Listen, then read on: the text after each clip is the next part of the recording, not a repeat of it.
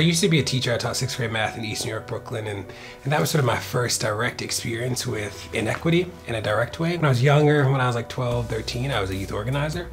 And uh, that helped me understand the, the importance of organizing community, but teaching really helped me see inequity front and center in a very different way.